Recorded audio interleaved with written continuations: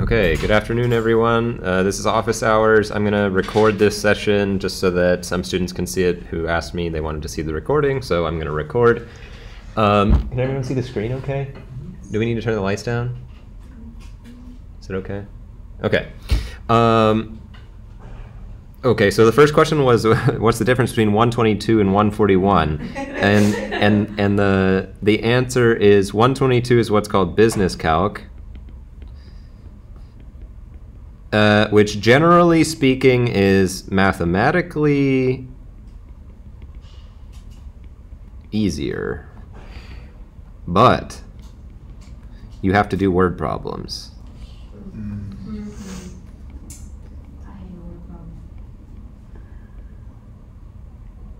And then 141 is basically the opposite of that. It's much more mathematically rigorous, I guess. Um, so you might have to deal with more complicated functions and stuff like that. And then, of course, in the business calc class, there's also a lot of stuff in there about like, oh, the profit function or the revenue function. Come on in, come on in. Just close the door behind you. Profit or revenue functions or cost functions and those sorts of things. Um, so I would say, yeah, it's more applications based, which is why you have more word problems. Um, so 141, you will have like lecture uh, two days a week or three days a week, and then also you'll have recitation two days a week. So it's like five credit hours or four credit hours, maybe. I think it's five. And then 122 should be basically like three credit hours. You'll just be in class three days a week, and you won't have a uh, recitation. So less class in 122. Generally, like speaking, students who are like who tend to struggle a lot more with math get funneled into 122. It tends to be a little bit of an easier class on the whole, um, but uh, yeah, that's basically my spiel. Does that answer your question? Yes. Okay, cool. Then, oh shoot, you know what I forgot is my textbook. You, you all don't have a physical textbook, do you? No. Oh, and I don't have, I can't use my laptop either because it's being used right now. Okay, well, we'll use the e-textbook. How about that? Um, okay, so do you all have questions for me for, for office hours while I pull up the thing? Why do I keep finding staples? So the sections relevant for the quiz are sections 1.4 and 1.5. So do do you want to talk about any of the content in there? Um, 1.4, there was a homework question. Okay. So it was f of x is equal to 3x squared um, minus x minus 2. And then it said find x such that, and then in parentheses, x and then negative 2 is on the graph of h. Uh, negative x or just x2? Negative two. Negative okay. Is on the graph. Mhm. Okay, that's a great question. So the window's up still. Oh, thanks. All right. So let's try this one together. Okay. Um, how do the rest of you feel about this one? Is this one that gave you a little bit of trouble? Four, right? Yeah. Oh, I don't know what this is from. Is this 1.4? It's like question twenty-two, I think. Okay, this is 1.4, question 22. All right. So, uh, what did the rest of you think of this? Because this homework's already been due, right? So, you guys presumably tried this problem. How did you feel about it? A little bit frustrating at first. Sorry? It was just frustrating at first. Frustrating at first? Okay, cool. Well, let's do it together. Um, well, I think this tests something really fundamental about uh, the relationship between a function and its graph, right? The relationship between a function and its graph. So let's imagine for a second uh, that we had an x value such that this was on the graph. Okay, so what would that look like? Well, there would be an x value, right? And this point would be at whatever that x value is. It would look like x comma 2, and it'd be like this point right here, maybe, right? Where this, where the height of the uh, height of the point is 2, and the left and right is going to be x, right? So in particular, this this point could be anywhere, right? Well, actually, it can't be anywhere. It, it has to have height 2, Uh, but it could be anywhere like this and this and this, right? So we're looking for a point which is on the graph of the function, which means that this is a parabola, right? So we know the parabola looks something like this, right? So we want to find the x value such that uh, the height of that x value, when I plug it into this function, gives me negative 2, right? No, okay, so I put it at the wrong spot, didn't I?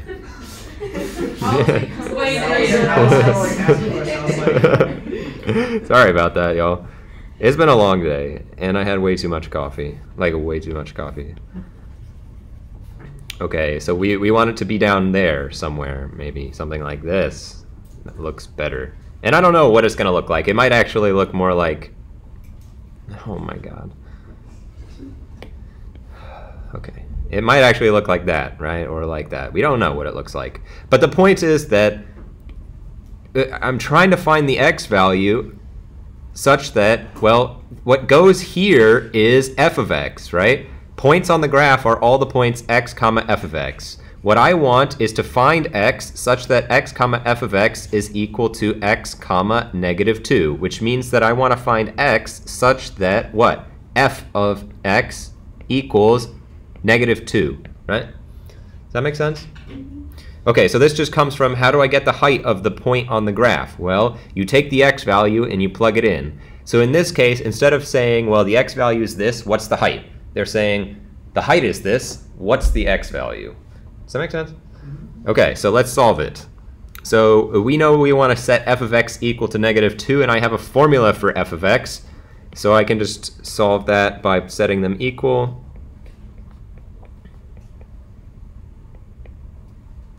All right. So now what? I'm stuck. Somebody help me. Add 2 to both sides. Why? Well- Right. So the the reason that I'm going to add 2 to both sides is that if I want to factor the the quadratic, I must always first get 0 on the other side. Okay? You can only factor when we have a 0 on one side. So 3x squared minus x, and then we add 2 to both sides, right? So I get uh, equals 0. Yeah? Okay, now what?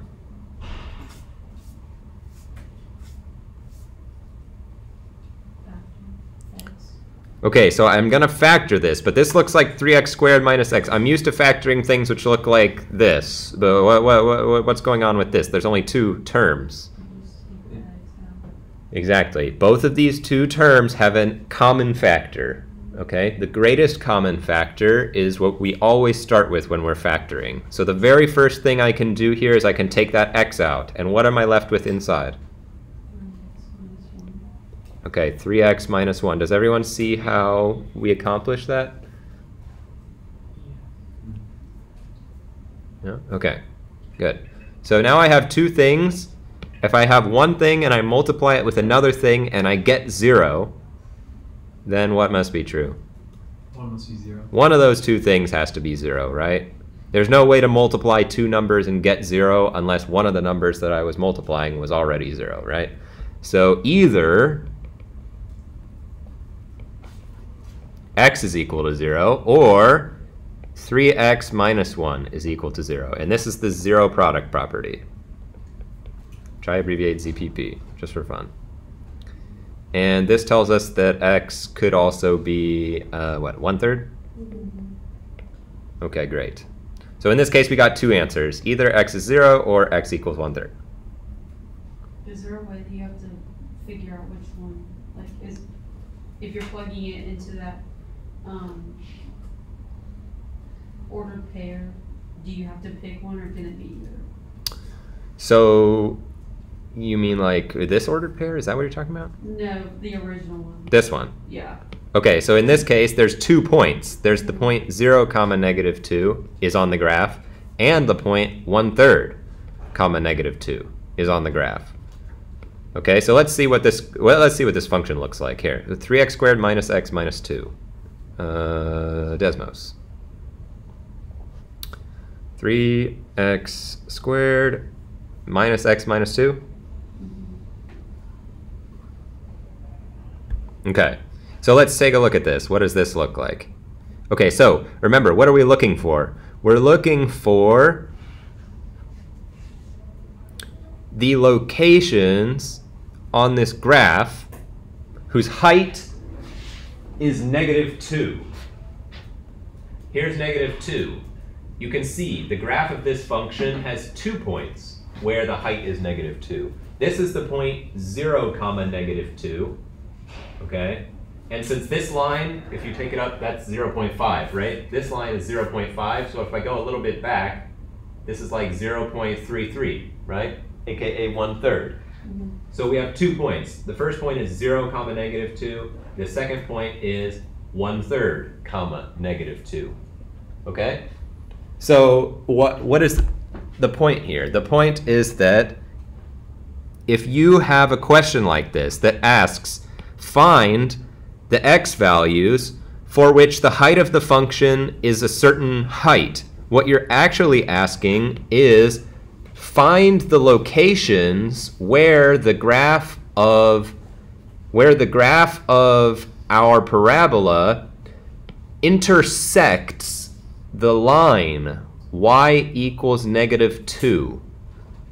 We're asking for the places where they intersect. And of course, where are these going to intersect? It's going to be where this is the function g of x equals negative 2.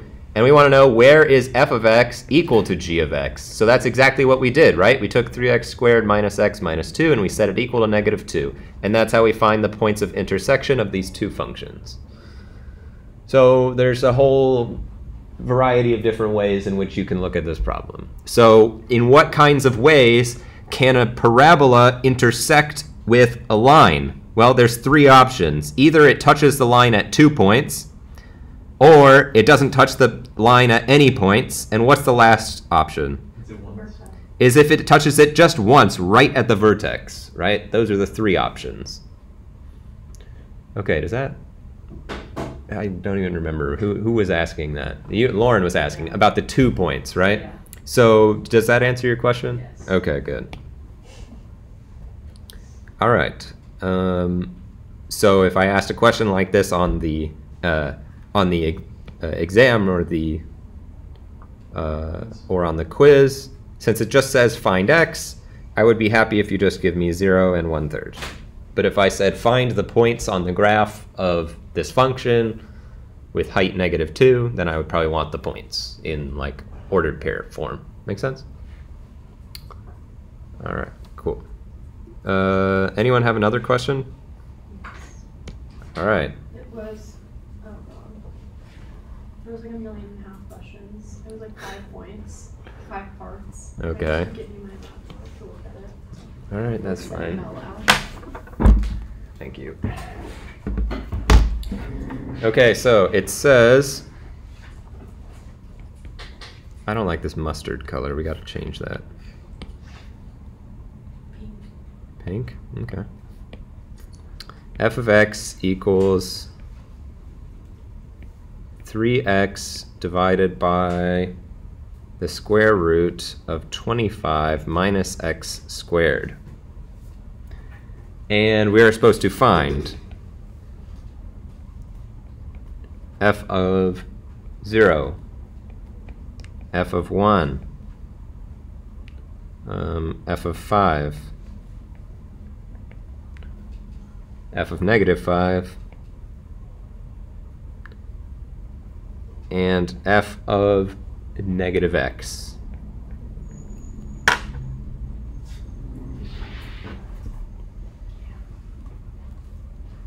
Okay. So this is a pretty standard um, function notation question. Uh, they're asking us, okay, well, do you understand if I give you the function rule, do you know how to find out what the height of the function is at these given x values, okay? Or do you know how to evaluate this algebraically, which means basically plug in, right? So let's try these one by one. Let's start with the first one. How am I going to try to evaluate what f of 0 is going to be? Set it equal to zero. Should I set this equal to 0? No plug in zero for x. So what we actually want to do in this case is we want to plug in 0 for x, okay? So this here, when, when they give us the rule like this, f of x is equal to something like this, what they're saying is if you want to know what f of 0 is, okay, I'm putting a 0 where x is on the left-hand side. To figure out what goes on the right-hand side, I just do the same thing on the right-hand side, okay? So I'm just going to plug 0 on the left-hand side and on the right side. Okay, so let's go ahead and do that. So f of 0 is going to be what? We're going to do 3 times 0, and I'm always going to plug with parentheses, right? And I'm going to divide now by the square root of 25 minus, and I'm going to take 0 and square it. Okay, so what do I get on top? Zero. 0. And how about on bottom? I get square root of 25, right? Which is just 0 divided by 5, which is what?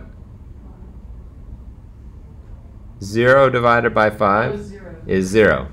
I thought you were asking for the square root. Oh, that's okay.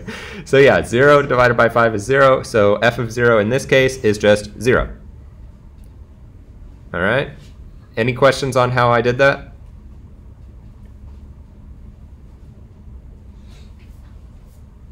Okay.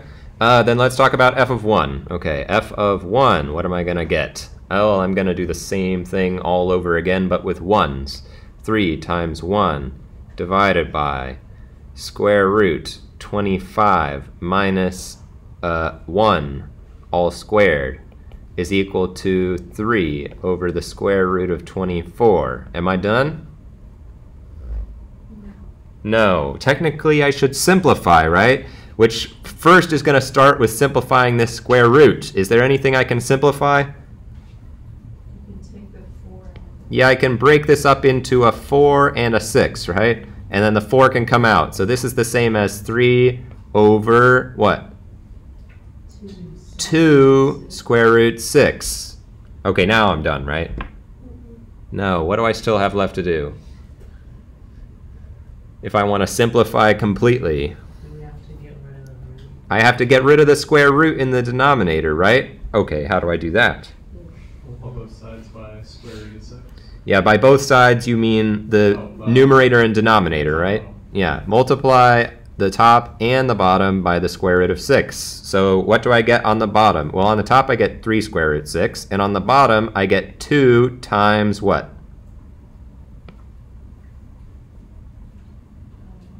Six. Yeah, if I take the square root of 6 times the square root of 6, I just get 6. Why would you multiply two square root of six on the top of 1? Um, Since it's bigger. because the you can think about it like this you can okay maybe it would help if you saw it like this if you see 3 over 2 root 6 this is the same as 3 over 2 times the square root of 6 agree would, the, would you then agree that this is the same as 3 over 2 times 1 over the square root of 6 yes Yes. and you'd agree with me that this part is fine right Mhm. there's no problem with this. There's no square root there. So the only thing I have to deal with is this square root 6. And you'll see how it's going to go away when I just multiply by the square root of 6 here. So let me show you that. How would that work? I, I'm going to multiply the denominator times the square root of 6. So all told, I get 2 times 6 in the denominator. So I get 3 root 6 in the numerator. And then what in the denominator? I get 12. Can I simplify any more? Yeah. Yeah, one more time, right? 3 divided by 12 becomes 1 over 4, right? So I don't even need to write 1. I can just write square root 6 over 4. Yes? Okay, now I'm done. Okay, so what would happen, by the way, if you if you decided to multiply the top and bottom uh, by 2 root 6? Well, in the end, you wouldn't have 3 root 6 over 12. You would actually have uh, 6 root 6 over 24. And then you could simplify again. So, I mean, if you want to multiply by 2 root 6, I guess there's no problem. Uh, it's just doing a little more work than you need to. All right, any questions on how we did that one?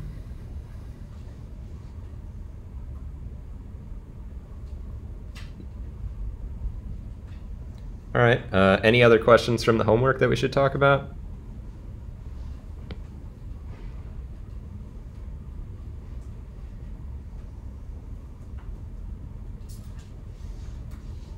Oh wait, I guess we should probably finish more of these, shouldn't we? Yeah. There's like th- three more things to do. Jeez, I just cannot function today. Okay, so uh, let, let me just copy down a couple more of these to the next page. So again, what we're trying to do is figure out what this is for f of 5 and f of negative 5. Okay, so if I plug in 5, what am I going to get? 3 times 5 divided by square root 25 minus 5 quantity squared, which is going to be 15 divided by the square root of 25 minus 25, which is going to be equal to 15 divided by the square root of 0, which is going to be 15 divided by what? Just 0. Okay, we're done, right? No, what's the problem? It's undefined. Okay. And do I really need to do f of negative 5? Why don't we do it, just to be safe? Maybe we'll get something different. 'cause it'll be square, square root of fif- fifty. Right. Well, let's see. Let's do f of negative 5 and see what happens. 3 times negative 5 on the top, right? Let's see what happens on the bottom. I'm going to do square root of 25 minus negative 5 squared. But I have to plug with parentheses, don't I? So I'm going to get what on top? Negative 15, and I'm going to have a bottom. I'm going to have square root. 25, what? What comes? Twenty-five. Minus 25 still, right? Why is that the same?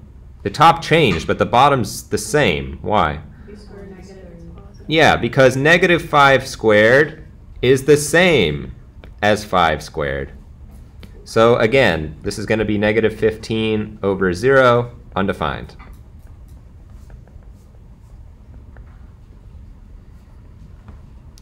Okay? Make sense? Okay, so how about f of negative x? That's the last one. So let me paste one more time. So this was f of x, and we're supposed to find f of negative x.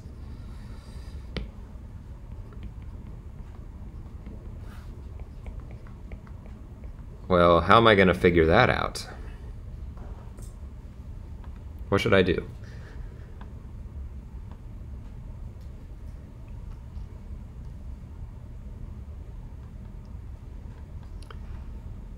Well, what's been the process so far? I take wherever I see an x, right? I replace it by whatever is inside of the parentheses, right? Which is like 5 in this case. So we replaced all the x's with 5s. Yeah? So now I have in my parentheses negative x. So is anything going to change meaningfully?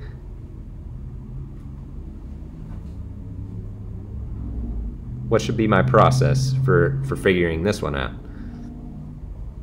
Just change the x's to negative x. Yeah, I'm just going to change the x's to negative x's. The only thing that I'm going to be careful about, though, is anytime I'm plugging in, I always want to plug with parentheses, right? Always, always, always plug with parentheses. And you're going to see why that's important. Because if you don't plug with parentheses on this problem, you probably get it wrong.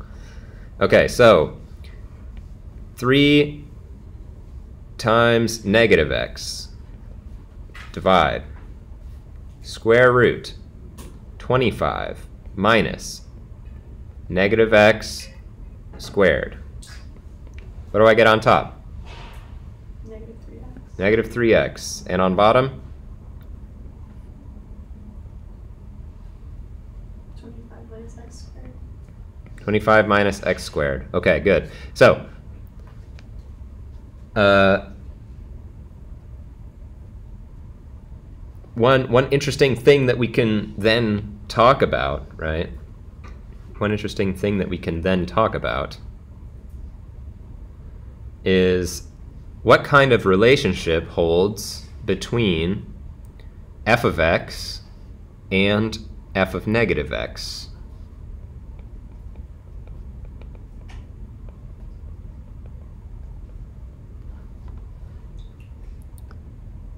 Well, what's the what's the big difference? Is there anything different in the denominator? No, the denominator's the same. What about the numerator? One of them's negative and one of them's positive. Right? One of them's negative and one of them's positive. So if I plug in x and I get something, and if I plug in negative x, I get the negative of that thing, then would you agree with me that this is equal to negative f of x? Yes? Yeah. So if I have f of x is equal to negative f of negative x, does that bring to mind anything from our class that we've learned about recently? Reflection.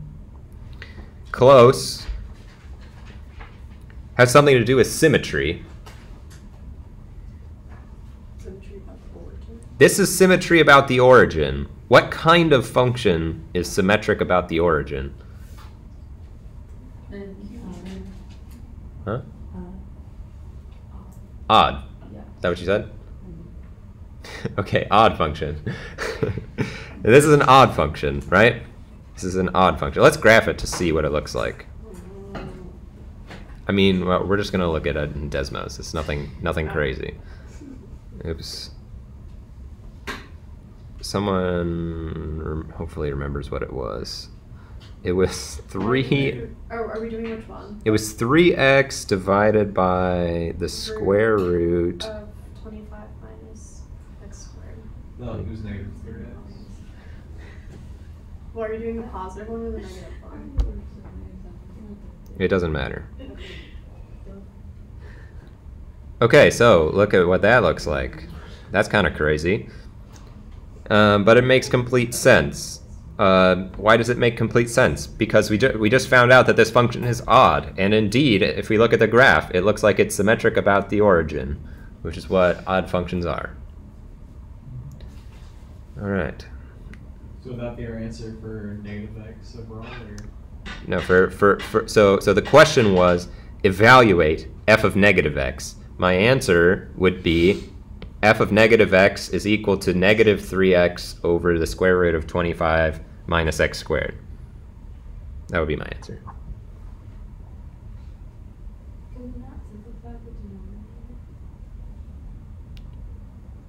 How so? Okay. Let's let's let's investigate. Is it true that the square root of 25 minus x squared is equal to um, 5 minus x? That's the question mark, right? What do we think? It's okay. Well, no, so this isn't answer. Sorry? It's lot. No, isn't the answer, but I don't know why. okay, so uh, I'll, I'll say this is not true. Not true. But let's see if we can see why. How, how would I go about investigating whether, whether or not this is true? You're Square root. five minus x S- You, okay. and see what happens. We want to square both sides? Is that what you're saying? No, like literally just take five minus x and put parentheses and square it and see if it comes out to that. Cause then it would be plus or minus. Right. So so so here's the problem, right? It you could see this in any number of ways. Here's the first way you could see it would be to say, what if I factored this? What would you get? You'd get the square root of 5 minus x times what? Five plus. 5 plus x. Okay, are these two things the same? No. So if I I can't take their square root and just get this one, can I? Mm. right? So that's one way to see it. Here's another way that to see it that's easier, and it comes back down to our old friend the foil. What happens if I square both sides? On the left side, what do I get? 25 minus x squared. But how about the right side? I have to FOIL 5 minus x times 5 minus x, right? And what would I get if I did that? I'd get 25 minus 5x minus 5x plus x squared. So is 25 minus x squared equal to 25 minus 10x plus x squared? No. These are different, right? Okay, so that's one way that you can. I, I want you all to feel that, you know, if you have a thought and you're, you know, it's perfectly fine if on a quiz or an exam or a homework you're like, oh, I think maybe this is that, but you're not totally sure. You don't necessarily have to run to Google and, and check Google. You can try to employ some kind of like checking system on your own, right? So for example, you could try to factor this guy and you'd see pretty quickly that that can't be the square root of that.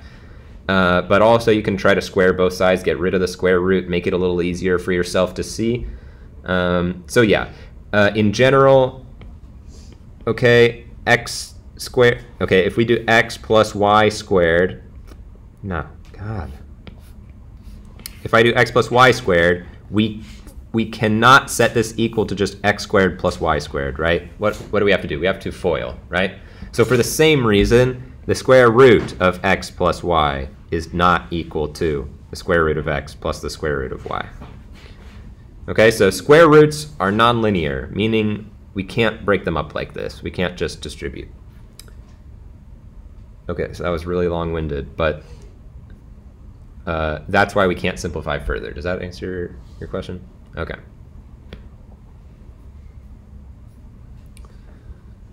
Okay. Uh, so my final answer would, would look like this because this can't be simplified anymore. Okay? Um, well, I mean, I suppose if you really wanted to, you could rationalize the denominator, but honestly, that's getting a little bit extra. I'll say if I want you to rationalize the denominator on the quiz problem. All right, uh, so now we've actually fully finished that problem, right? All right, should we do any other homework problems? I think the quiz is going to cover not just homework 1.4, but also homework 1.5, right? Um, so why don't I go look at the homework and we can, I'll click through and you tell, oh, I can't show you the grade book. Manage assignments. Um, 1.5 is the one that I want. Uh, this one I was confused on.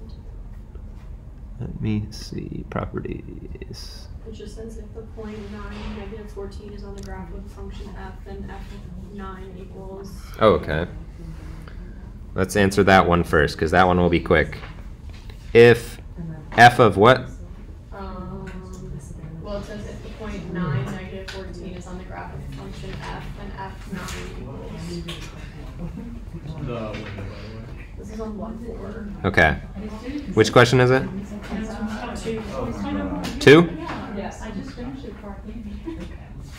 You're also covering this. No, thanks. Okay, if 914 is on the graph of f of x, fourteen. negative 14, then Also, um, of f nine, like no x, just nine. I don't know. Yes. Let's see see. Yeah, let me see.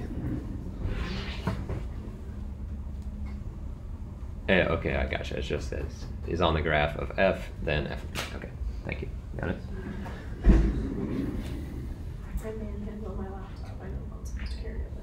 That's okay. my dad would be like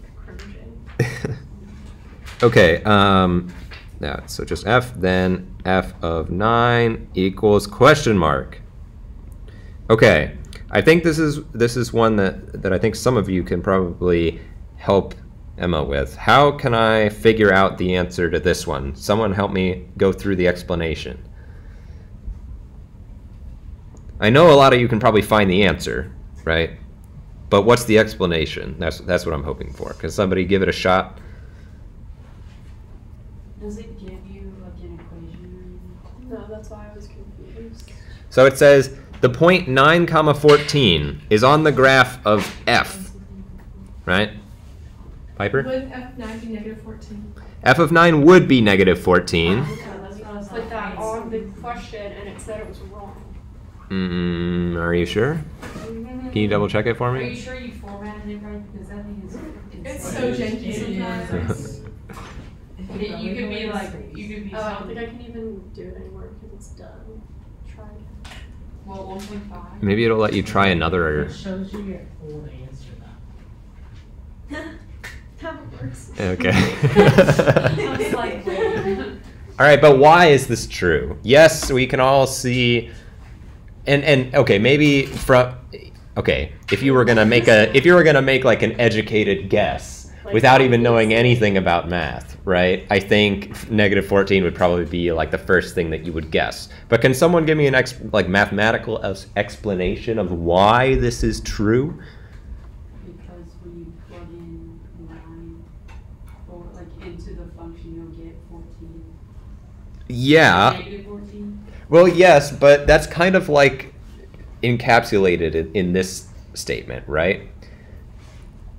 Which is what we're we're trying to explain why that's true. If you graph it and x is the x, the value of x is nine, then it shows that the y value would be fourteen. Exactly. So, okay. Basically you feel like you're saying the same thing, but here's what I was trying to get at. What I was trying to get at is that the points the points which lie on the graph of a function are points of the form x comma f of x. So we know that 9 comma negative 14 is a point on the graph, which it wouldn't be here, where would it? It would be down here uh, somewhere, right?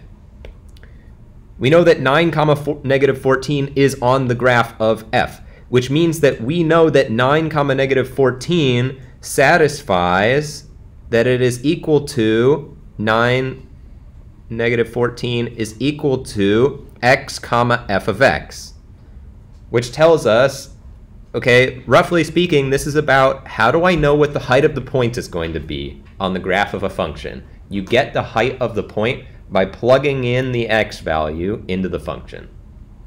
Okay, so if I know the height and it asks me what is the value of the function, well, the value of the function is synonymous with the height of the graph for a given x value.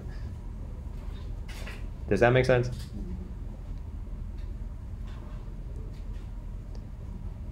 Okay, yeah. So uh, sometimes those like super easy questions are the hardest to answer. You know, like things that you've just taken for granted, like why is one plus one equal to two? You're just like, it just is, right? But there's actually like pages long proofs of why one plus one is equal to two, and people have thought really hard about these things. I mean, pages might be excessive, but well, you have to. I mean, if you want to understand what is what is one plus one and why is it equal to two, you have to understand first what is even addition, right? How is addition even defined? How is a number even defined, right? What is the number one as opposed to a number zero, and how do I know that they're not the same? Like these sorts of things, like intuitively, you can take for granted, and you can work your way through life without ever having to ask those questions. But like, Somebody's really thought about this. if you want to understand it on a really deep level. This is someone's job. This is Yeah. what somebody decided that they wanted this when they're like, one, why is one plus one two? Yeah, well, people have been wondering why one plus one is two for literally thousands of years. I hate It's not those. though. what if it's not? What if there's Yeah. a number in between one and two? we can come up with an alternative Yeah. math system where it's not. We can just we can just say assume one plus one is not equal to two, then derive uh, consequences from that, right? I don't like how you actually rationalize that. All right. Well, anyways. I don't want to get too off track here. Let's get back to the subject matter at hand. Stroke. Do we have any other uh, questions from 1.4 or should we move on to 1.5? Um, shall I look? Could we possibly go over how, for like, we had our first question at the top, how to find the x and y intercepts from that. possibly. Sure. How to find the x and y intercepts of Yeah. of uh, thi- of this one? Yeah. Okay, let's do that.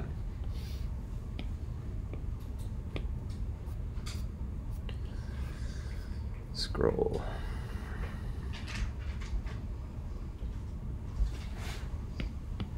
Okay, so find x intercepts. Let's do. Let's start with the x intercepts, right? Okay, so if I have a graph, and we already kind of know what this function looks like, don't we? It- We know it looks something like this, yeah? Okay. I'm going to draw three points, A, B, and C, and I want you to tell me which ones, if any, correspond to x-intercepts. Here's point A, here's point B, and here's point C. Which ones, if any of them, are x-intercepts? And C. Aids. Okay, very good. A and C. Why is B not an x-intercept? Because B is a y-intercept. Why, how do I know the difference? Because on it's like on top of the x intercept. Okay, it's on top of the what? X intercept. The x-axis, right? Which is this one, okay?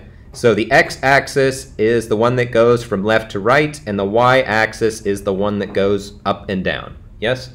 Okay, so uh, the x-intercepts are going to be the points uh, which are on the x-axis. What is going to be true about both of these two points? What do they have in common?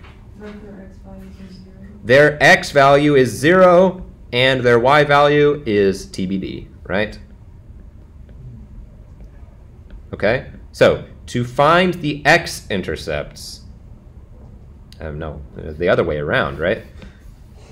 You guys are feeding me bad information and I just go with it. I'm sorry. Okay, what's true about these two points is their y value is Oh, 0, yeah. right? okay. It's a long day. Already. so th- that just goes to show how much I trust you all, right? Okay, question mark, comma, zero. Okay, so the y value of both of these points is zero. So to find the x-intercepts, what am I going to plug in zero for in my equation? To find the x-intercepts, I should plug in zero in this equation for what? y. I don't have a y in this equation. Where is that? F of x. f of x is y, right? The height is f of x. Okay, so I plug in 0 for y. And I get 0 equals 3x squared minus x minus 2. Okay, now what do I do? Plug zero in for x. Plug 0 in for x? I will get 0 equals 0. That's not very meaning. Well, I will get 0 equals negative 2, actually. That's worse than meaningless. That's wrong. Okay, sorry. Uh, what should I do now? I, my goal is to find the x-intercepts. I set 0 equal to the right-hand side. What do I do now?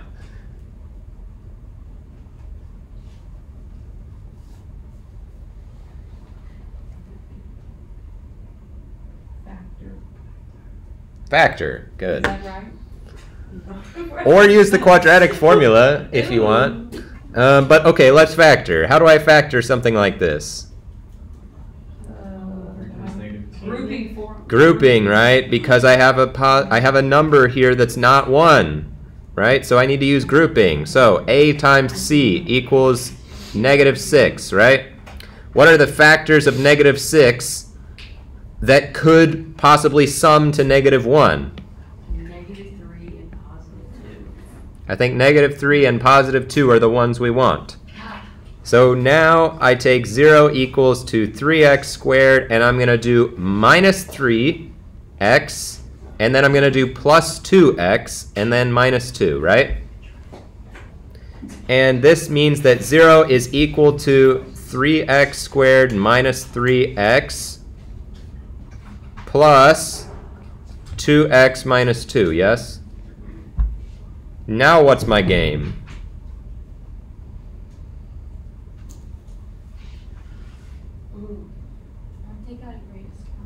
Greatest common factor from both. What's the greatest common factor of this one?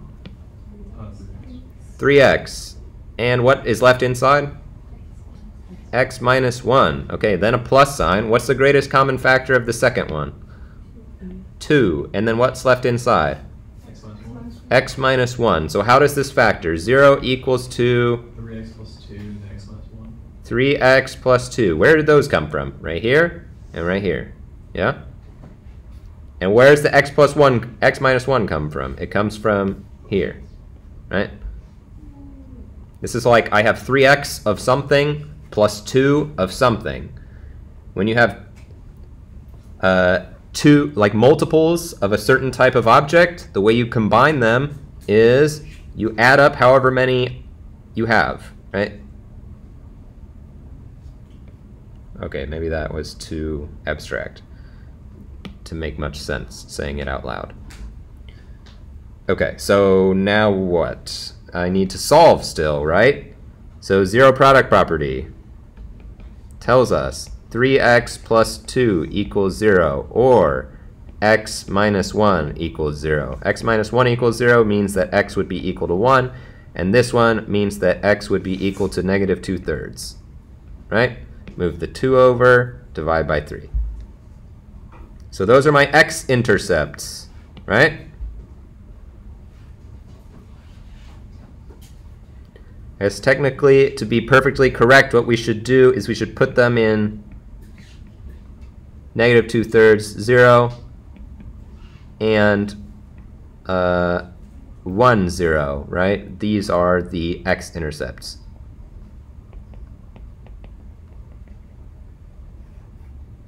Okay? So that's the points which are shown here and here. Alright, how about the y-intercepts? What am I going to do?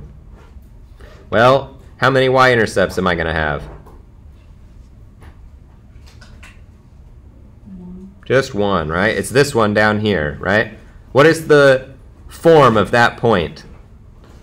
Do we know anything about it?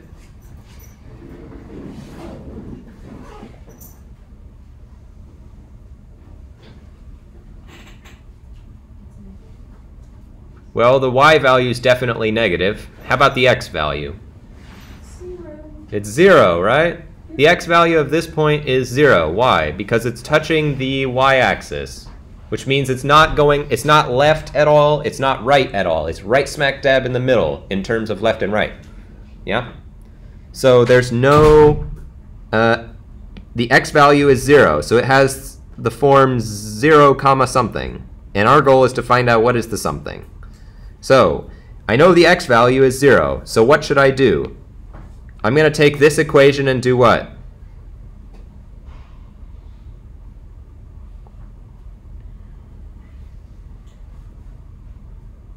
So if the x value is 0,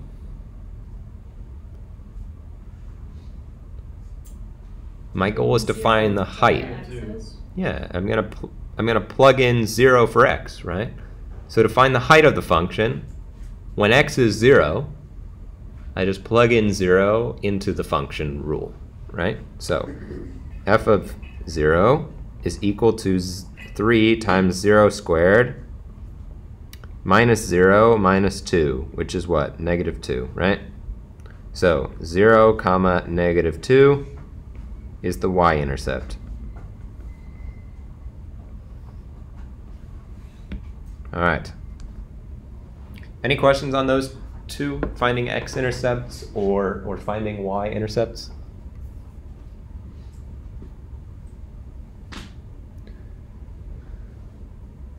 Um, okay. Then let's move on to 1.5. I want to talk about 1.5 at least a little bit. So let's see some problems, and you tell me if if uh, if any of these suit your fancy. We've got problem about decreasing. Problem about even functions. We've got average rate of change. Um, some true and false problems. due today, right? Or no, tomorrow. Yeah, it's due tomorrow. But we covered 1.5 on Monday. Mhm. Um, let's see. Maybe I can find a good representative problem for us.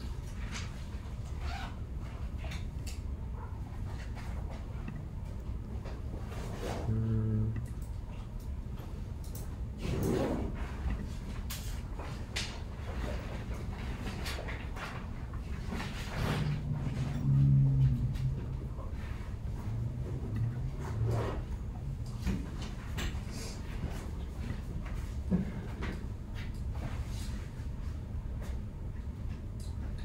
All right, let's do something like this, maybe.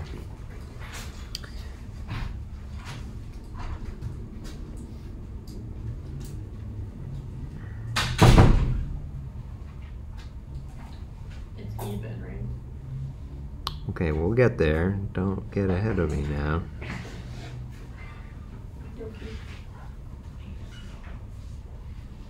We're gonna do more than just that.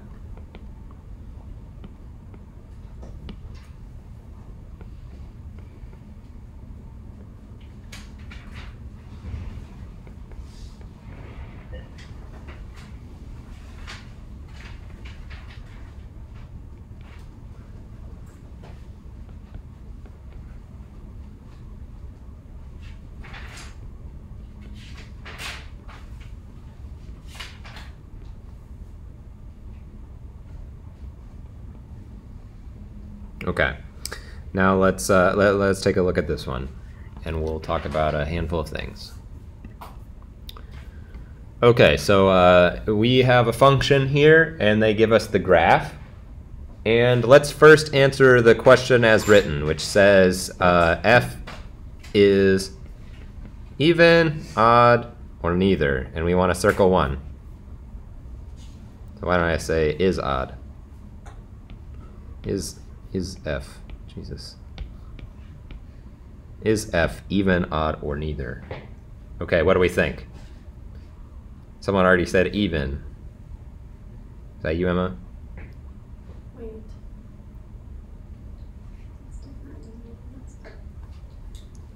Is this different? I'm looking Oh, at wait, 31.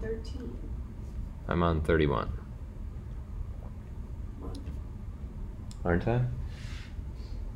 Oh, question 13. Uh, I'm looking at this number here.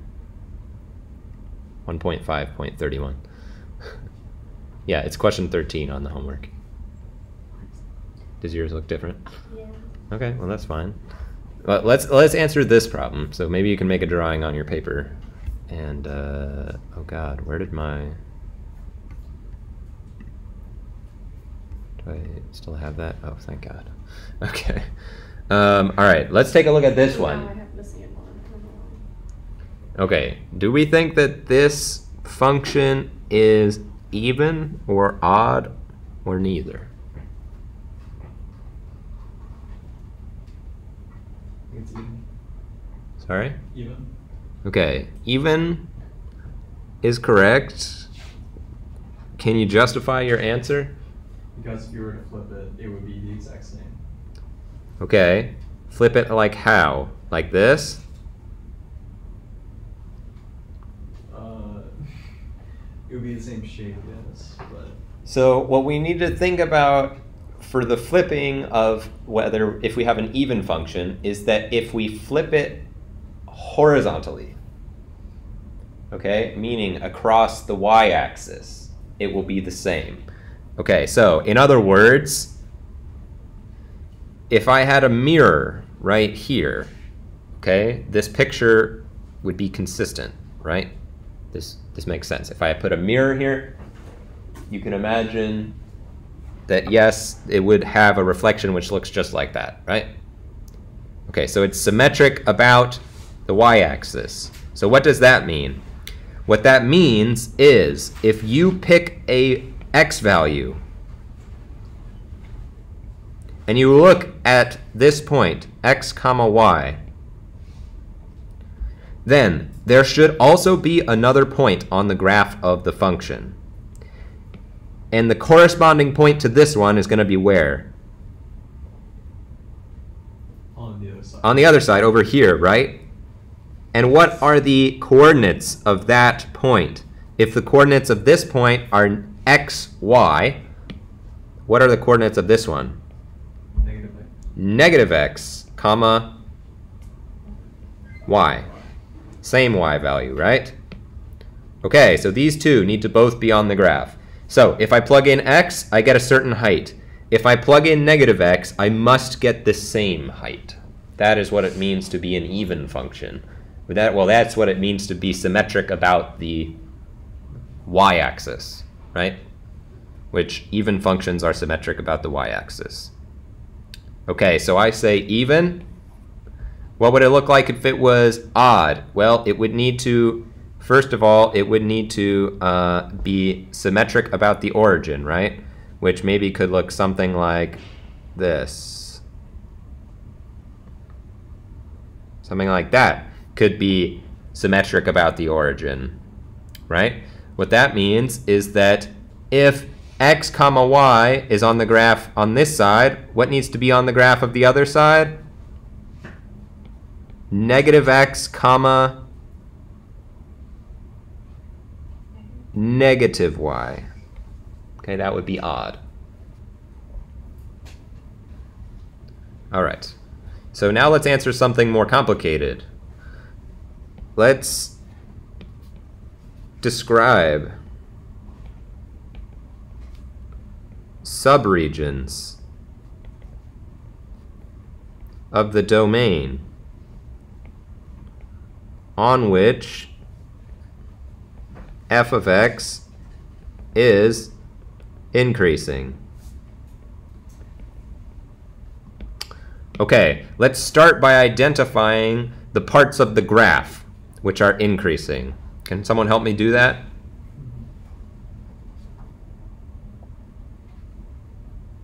Increasing from negative 1, 0 to uh, 0, 1. Okay, this part and also this part, right? Those are the two parts of the graph that are increasing, yes? Why am I increasing on those points? Or on those uh, sections of the graph? Why do we call this increasing and, and, and not this? Because the y-axis is going up. Because the y-axis is going up as I move from what? Right to left? No, left to right. We're always moving left to right. Okay? So, I just don't want anyone to get confused with the uphill downhill notion, okay? Because depending on the direction that you're going, this could be uphill or downhill, right? But we're always, always moving to the right, okay? So when I say uphill or downhill, it's always with respect to, we're always walking left to right. Okay, so this is an uphill portion, and this is an uphill portion. Uphill portions are increasing. Okay, now, what I'm supposed to do to describe the subregions of the domain, okay, now the domain is what? The domain is all of the x values, which go from negative 3 up to 3. Okay, negative 3 up to 3. So if I want to describe the subregion of the domain, okay, then I want to talk about the x values which correspond to sections on the graph which are increasing. So those x values are going to be found on the x-axis going from here to here and also from here to here, right? Those are the subregions of the domain which I need to describe. Using interval notation, what would that look like?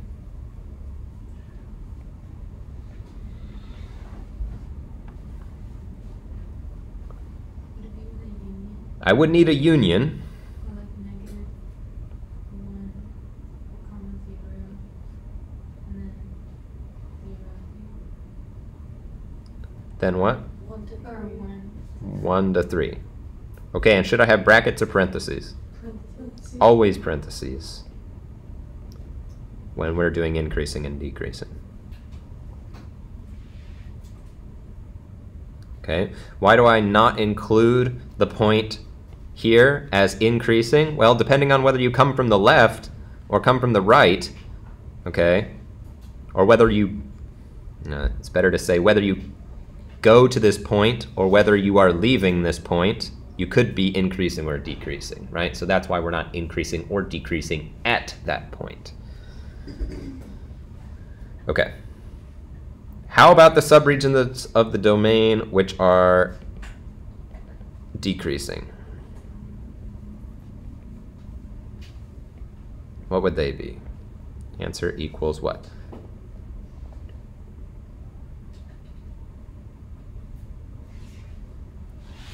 Someone else help me out who, who hasn't helped me already. So Alexa, you're out. Who else is out? All right, Lawson, what's up? Negative three to negative one, and then a union, and then zero to one, right?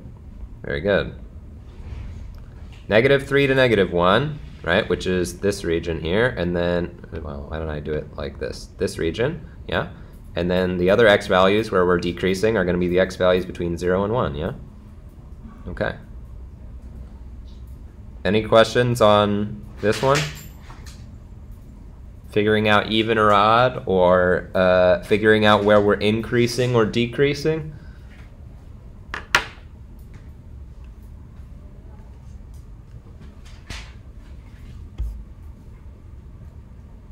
Um, didn't I have this open already? Oh, I minimized it. There it is. Okay, let's see if there's any other interesting ones.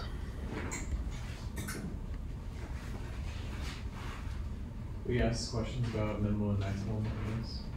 Sorry? We asked this question about minimum and maximum on this. Yeah, I could I could definitely ask a question about that. Let's try one more even an odd one where we do it algebraically instead of graphically.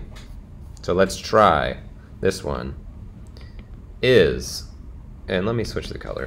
That's too just that's too not visible. I'll do lavender. f of x equals x to the 9 plus x cubed.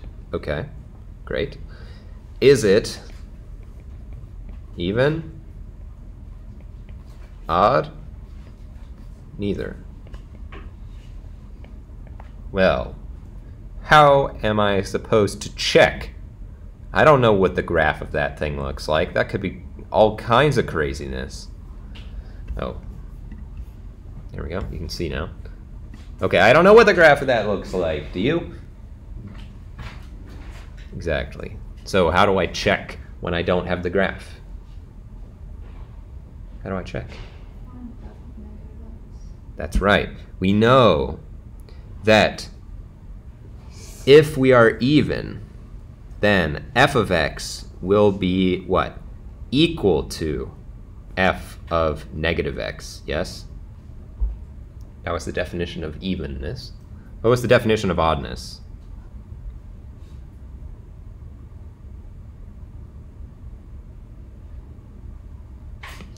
Looks like this, but different. How so?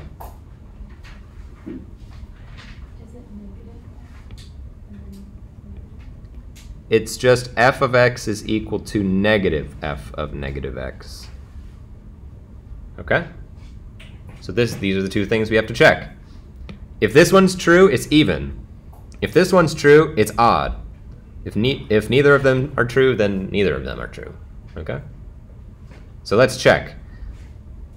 Let's start with the even one. We want to see is x cubed no x to the 9 plus x cubed equal to, and I'm putting a question mark over this equal sign because I don't know yet. That's what I'm trying to figure out. Is it equal to negative x, all being to the power 9, plus negative x, all being to the power 3? How can I tell whether this is true or not? Even or odd, even or odd exponents. Well, I can simplify the right-hand side, right? What do I get when I do negative x and I multiply it with itself nine times?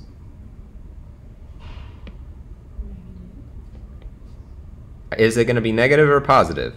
It should be negative, right? Because an odd power, right? And then x to the 9. Yes? Okay, now plus, what do I get when I do negative x all cubed?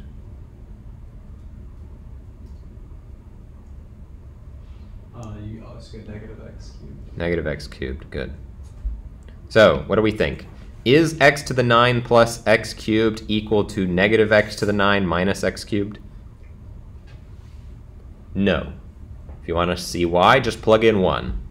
What would you get? 1 to the 9 plus 1 cubed. You get 1 plus 1 on this side. On the other side, you get negative 1 minus 1. Is 2 equal to negative 2? No. Right? So that's how you know that that's not true. All right. What about oddness? The oddness was we want to check is f of x ugh, is f of x equal to negative f of negative x? Well, we already figured out what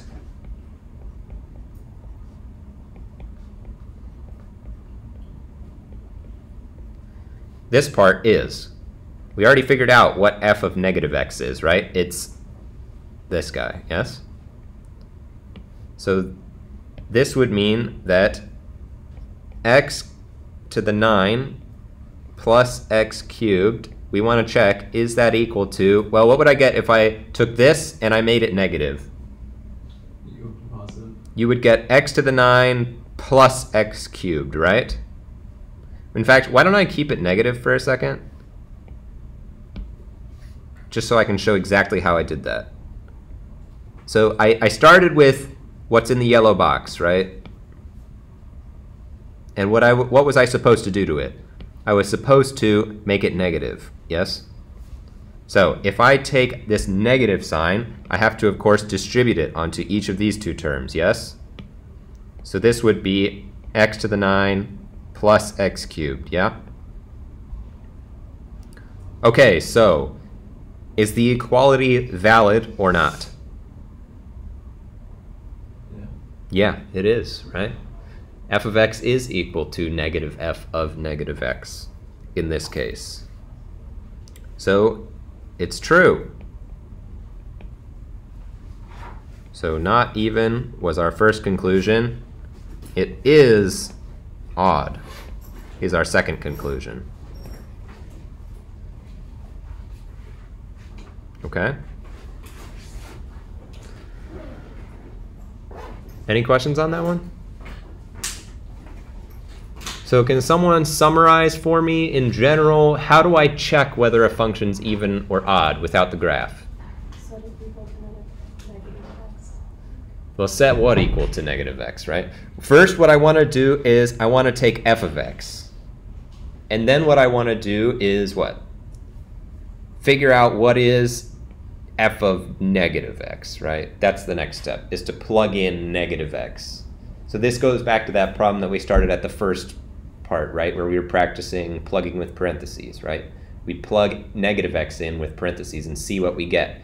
If it's the same, then it's even. If what we get is the negative of what we started with, then it's odd. And if neither of those two things are true, then we just say neither of them are true. That's perfectly acceptable. Okay, any questions on that one? Okay, let's do a relative min max. Then could we do a rate of change? Sure. Average rate of change.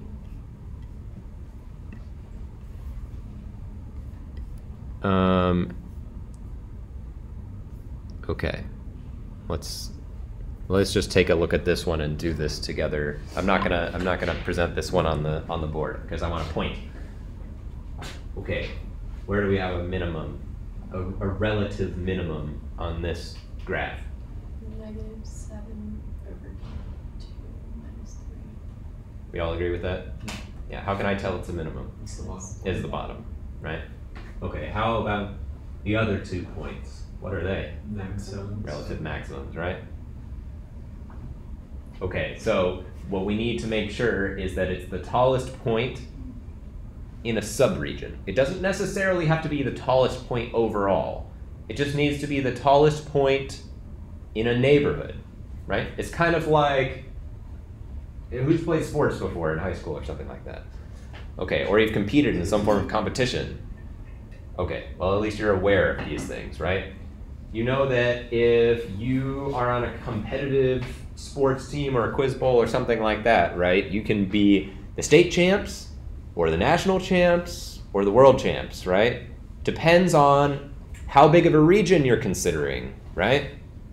So what is seven, what is zero four? Zero four is like a state champ, but not a national champ, right? It's like the best around, but only if you consider a small region, yeah? And then seven seven, that's the global champ, right? The world champ. All right, that's that's basically all I want to say about minimums and maximums. Is there any like algebraic thing we'll have to worry about that for this? Or? Not really. Um, didn't know the if you give us like a form, uh, function or something like that. we have to- I'm not going to give you this problem because this problem is tricky. It's a trick question, kinda. You have to be careful with the definition. All right, uh, let's do a average rate of change. Twenty-two. 22. Okay. It says average rate of change of f of x, which is t- negative 2x plus 8, from a equals negative 1 to b equals 3. Okay, so this is a straight up memorization problem in terms of did you memorize the formula of average rate of change, right? So does anybody know what the formula is? Anyone want to take a stab? It's okay if you're wrong. F of B minus F of A uh, over B minus A. Very good, you nailed it. Okay, the easy way to remember it is it's kind of like the slope formula, right? This is y2 minus y1 over x2 minus x1. It's nothing but the slope formula. Rise over run. Yeah? All right, so let's do it. Except crap. What is b and what is a? Well, b is 3, right? So I'm going to replace b by 3. Well, actually, why don't I just uh, leave that there and rewrite? So this is going to be f of 3 minus f of negative 1, all divided by 3 minus negative 1, which of course is going to be f of 3 minus f of 1 all over 4, right? Because 3 minus negative 1 is 4. Am I done? No, what did I not do? To do the formula with. Uh, Do the formula. Can you be more specific? do- Fill in the function with three and. Exactly, I gotta plug 3 in for x in this function, right? And then I gotta plug in negative 1, which I miswrote it down here. Okay, so what do I get when I plug in 3? I get negative 2. Okay, I wanna finish this up, and I want you to tell me if I did it right, okay? I'm gonna do negative 2 times 3, of course I plug with parentheses, and then plus 8. Okay, then comes a minus sign. And now I need to do f of negative 1. And I'm going to be very careful. I'm going to plug with parentheses. Negative 2 times negative 1. And then um, plus 8 again, right? And then I just divide by 4. So all I have to do is add these things up. This becomes negative 6 plus 8 uh, minus positive 2, right? And then plus 8 over 4.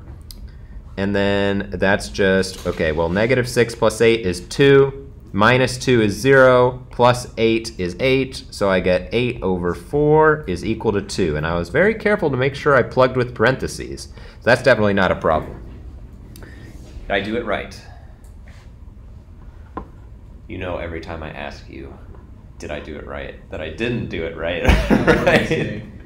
But where's the mistake? Where is the mistake? Um, parentheses around the second thing. Very good.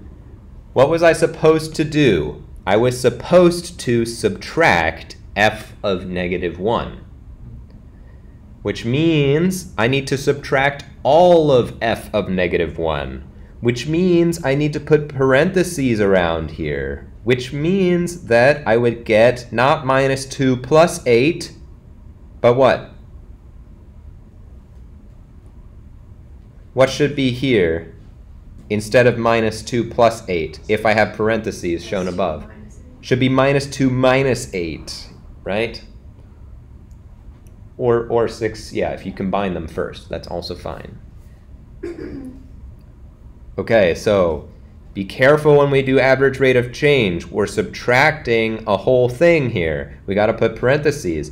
And reasonably speaking, this is this is the same as plugging with parentheses, right? I'm plugging with parentheses uh, because I'm replacing by f of 3 by something that it's equal to, right? I'm plugging here. Always plug with parentheses. It's just a little bit of a different style of doing so, okay? All right, so that was a trick question by me. So the minus 8s cancel out, and I'm left with what? Negative 6 minus 2, which is negative 8 over 4, which is negative 2. Okay, so I was off by a negative sign, basically, before.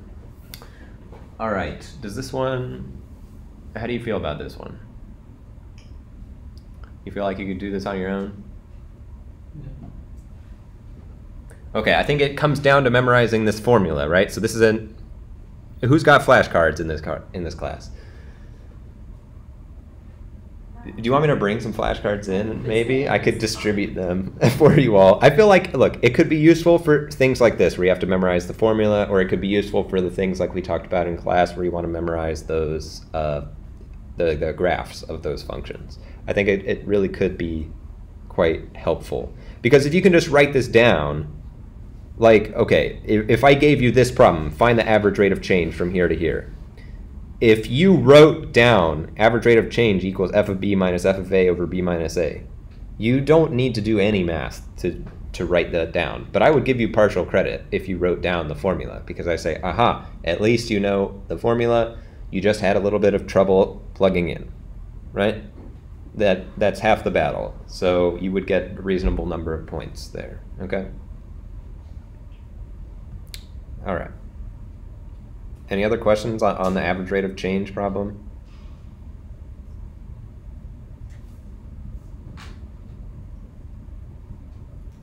Okay.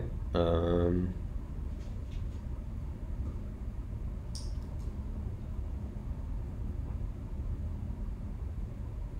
what else should we do? Anything else that we want to talk about? Got like seven minutes left.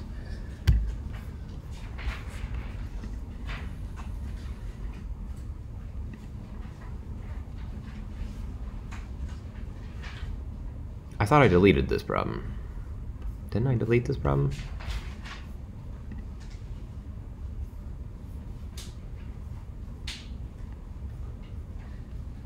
Does anyone have the homework up? Emma, can you check that for me? What? Can you check if tw question 26 is on there? No. It's not? Okay, good. Um, let's see, were there any others? No. Oh, I left this one on here. Maybe we can do this one just for fun. Because this one I suspect probably you all will have a bit of a hard time with on the homework. Oh, I thought you were gonna say that's on the quiz. No. I'm not going to put this problem on the quiz. Because this problem's hard, but this problem's fun. In a manner of speaking. Why are all my questions different than yours? Well, the numbers will be different. Yeah, I know that. It's always the same idea every time. We have different variations of the same question. So, and that was a Yeah, I know. Yeah. Okay, let's see if I can draw this properly. Not really. Oh my god. In terms of eggs.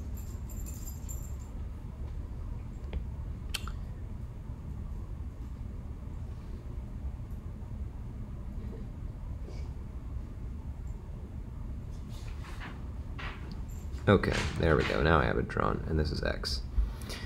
Okay, so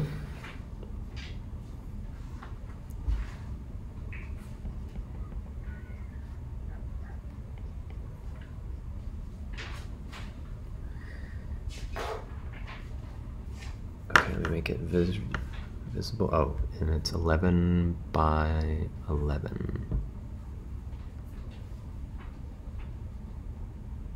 Assume they mean that this original distance was 11.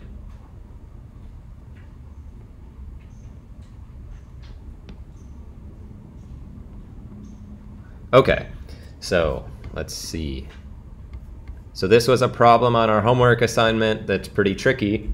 Um, we have a cardboard box, right? And so you can imagine that if you cut this out of a piece of paper, right, you could take this piece, let me draw it. You could take this piece, right, and fold it inward, and then this piece and fold it inward at a 90 degree angle. Take this piece, fold, fold it inward at a 90 degree angle, and take this piece and fold it inward at a 90 degree angle, and you'd end up with a box, right, with no top.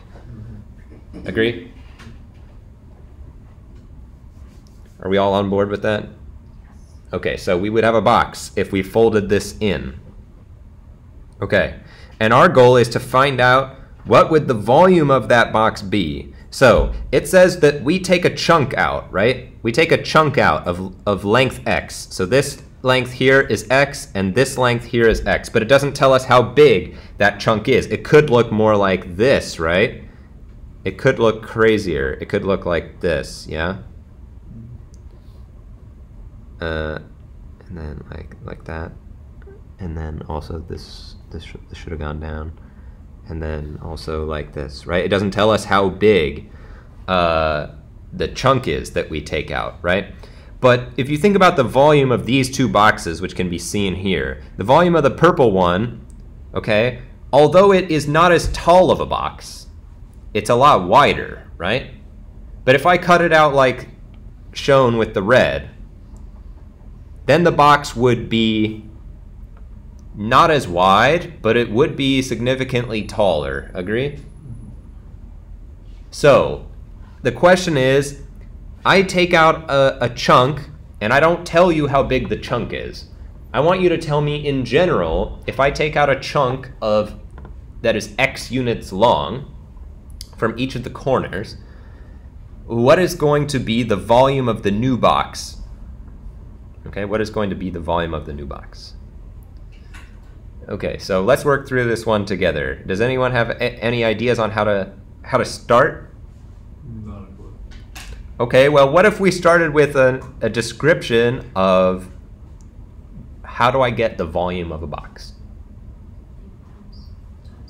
Length times width times height, right? Length times width times height.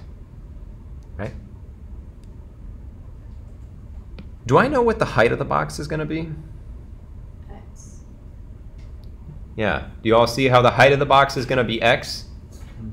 Right? Because if I fold this in, then the height is going to be whatever this distance is. Yes? So the height is going to be x. Okay, and let's say that this is the width and this is the length. Right? Well, you agree with me that since this is a square, the length is equal to the width, right? So I can actually make this L squared, yeah? Is that okay? Yep. Okay. And how about what is L? Well, L is this distance, right? Do I know what that distance is? Fifteen. 15. Oh, well, yours is eleven, but mine's fifteen. Is Oh, this no, distance I- I- I- 15? I was kidding. That's okay. I was just kidding. There isn't an 11 involved, right? It's 11 is this distance here.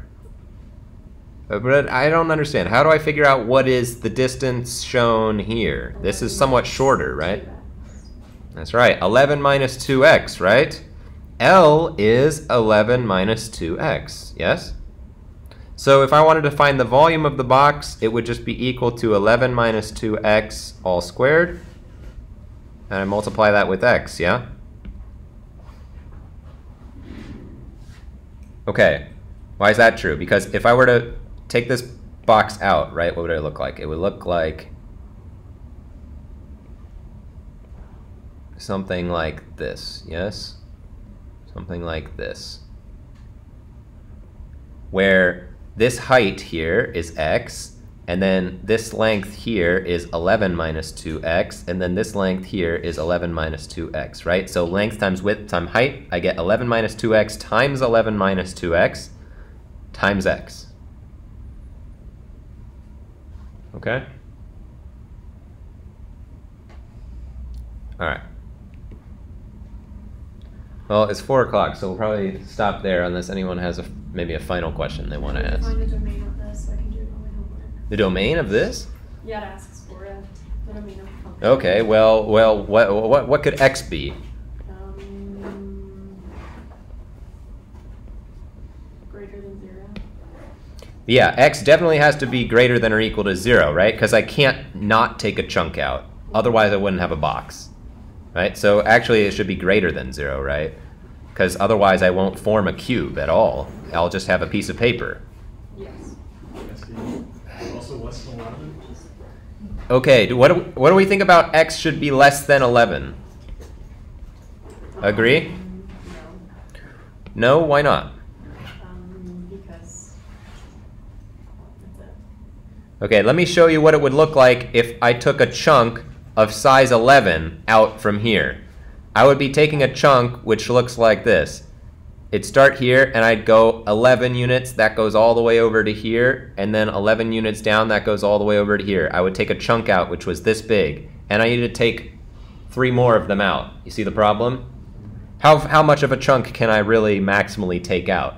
I can only take out a chunk which is as big as okay, this would be like as big as we could make it would be if I did something like like this, right? If I took chunks out like that. Yeah? And then and then another one here like that and then another one here like that, right? If I took chunks out that were really big like that, then I just have a box which was super thin but really tall. Yeah? So what's the most that I can take out? Well, that would be if I took out almost half of the entire length, right? So five. So 5.5 would be the maximum that I could take out. Actually, I can't quite take out 5.5. I want x is strictly less than 5.5. Yep. Is that clear? Still a little confusing maybe, but that's okay. This is a tricky problem. All right, any final questions? All right, then we'll stop there for today. I will post this recording to my YouTube channel.